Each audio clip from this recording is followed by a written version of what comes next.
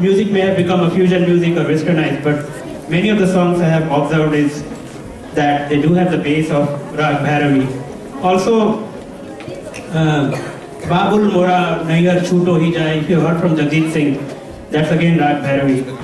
Um, so we have gel pens. What should we do? Where's Malhar? Where is Malhar? Malhar, claim your gel pen before I take it. Malhar, gone? He's coming. Okay, great. Yeah, it's the first. There, now it's open. The box is open.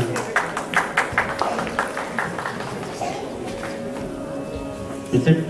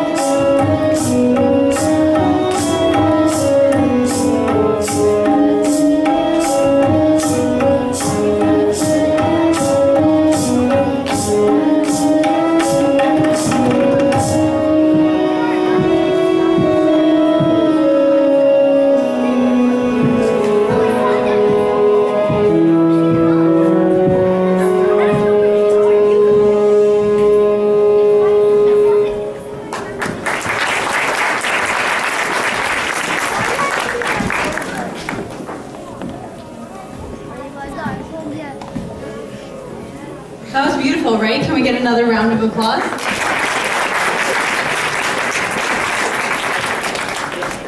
So the next song is one of my all-time favorite songs, and it's from the 2013 blockbuster musical drama. Can anyone guess the name of the movie? In 2013, what was the biggest musical movie you can think of? Right here.